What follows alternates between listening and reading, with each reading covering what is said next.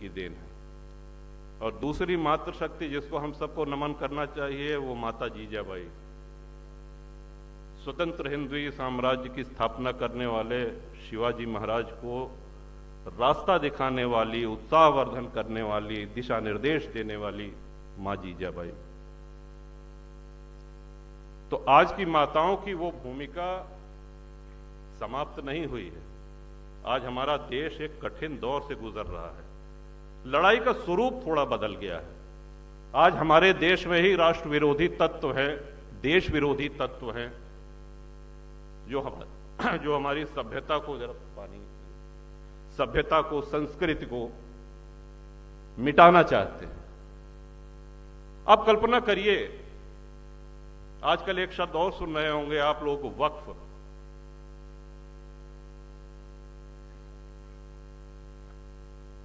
ये धरती पे किसी देश में वक्फ बोर्ड नहीं है, सिर्फ़ भारत में है, किसी भी इस्लामिक देश में वक्फ बोर्ड नहीं है। वक्फ बोर्ड को 2013 में कांग्रेस ने जो शक्तियाँ दी, जरा उसका भी उल्लेख सुन लीजिए कि वक्फ बोर्ड का निर्णय वक्फ की ही अदालत करेगी। वहाँ पर ज़िले की कचहरी, उच्च न्यायालय, उच्चतम न्यायालय, इनका अधिकार, इनका सीमा क्षेत्र समाप्त हो जाता है। और वक्फ बोर्ड आपको एक, एक नोटिस उसने दिया कि साहब ये संपत्ति वक्फ की है अगर आपको आपत्ति करना है तो उनका प्रदेश में एक कार्यालय है वहाँ जाके आप आपत्ति कर सकते हैं। अगर एक साल में आपने कोई जवाब नहीं दिया तो ये माना जाएगा कि आपको कोई दिक्कत नहीं आपका घर आपकी ज़मीन आपका गाँव वो वक्फ संपत्ति घोषित हो जाएगा ये लिखा पढ़ी में है।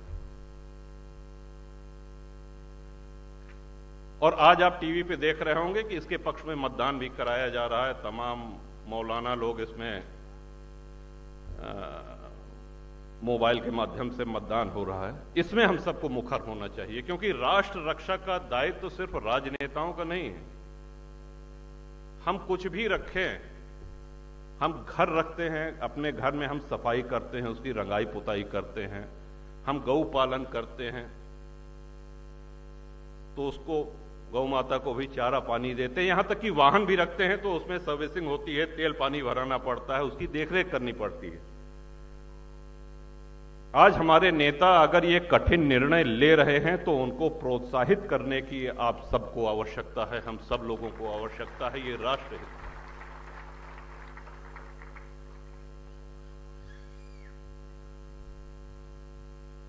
जातिवाद।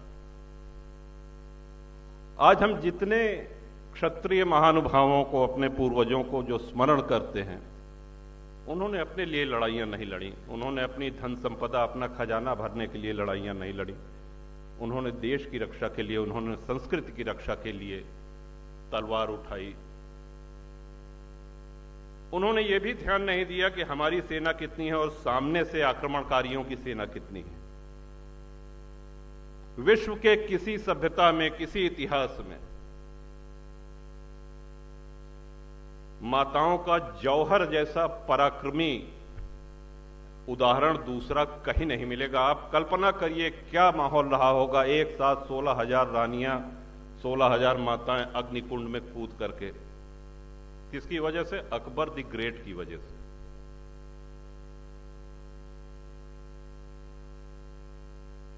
और आज शिक्षा हमको और सुलभ हो गई है। आज ये सब सारी जानकारियाँ हमको नेट पे उपलब्ध है। हमको मुखर होने की आवश्यकता है। पहले हम ये कह सकते थे कि साहब, हम कोई राजनेता नहीं है। अगर हम बयान देंगे तो पत्रकार छापेंगे नहीं, छपेगा नहीं, सुनेगा नहीं कोई, कौन पढ़ेगा? लेकिन आज सोशल मीडिया पे तमाम संचार के ऐसे माध्यम हैं जिससे, जिसमें आप लिख करके, बोल करके अपनी उपस्थिति मजबूती से दर्ज करा सकते हैं। आज आप उन लोगों को प्रोत्साहन दे सकते हैं जो लोग राष्ट्र हित में धर्म हित में निर्णय ले रहे हैं, बड़े निर्णय ले रहे हैं। देश का बंटवारा धर्म के आधार पर हुआ था।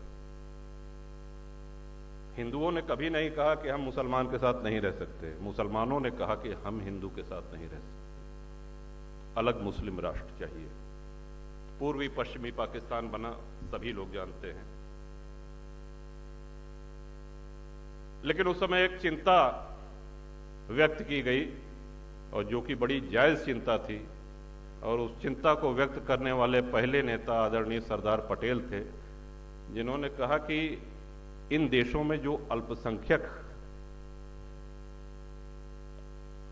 भारत के अल्पसंख्यकों के विषय में तो वो आश्वस्त थे, उनकी चिंता पाकिस्तान और बांग्लादेश में रह रहे अल्पसंख्यक हिंदुओं की थी।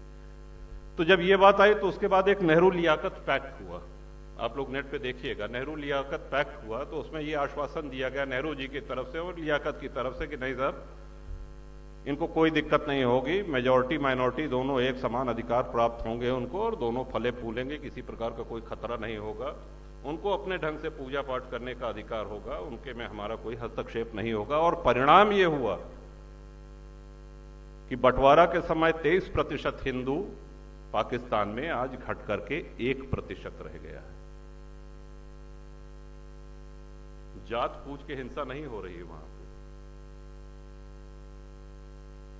सोमनाथ जी का उदाहरण तो बहुत पुराना हो गया। अभी कुछ वर्ष पहले अक्षरधाम पे जो आतंकी हमला हुआ था।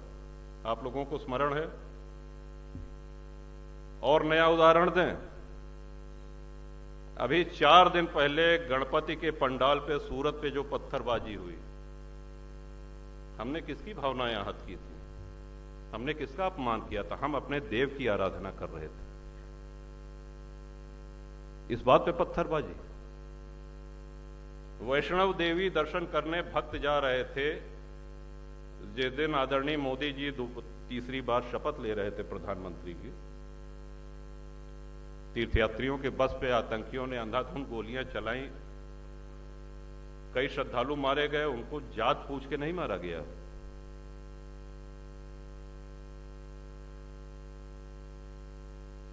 उनके लिए भारत का विध्वंस, ये एजेंडा है। और हमारा एक निवेदन, हमारी एक बात बिल्कुल समझ लीजिए कि हमसे ज़्यादा सेक्युलर कोई हो ही नहीं सकता।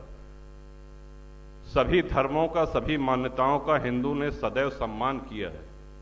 लेकिन जब हमारा अस्तित्व ही खतरे में आ जाए तो हम सबको उठ करके मुखर होना पड़ेगा।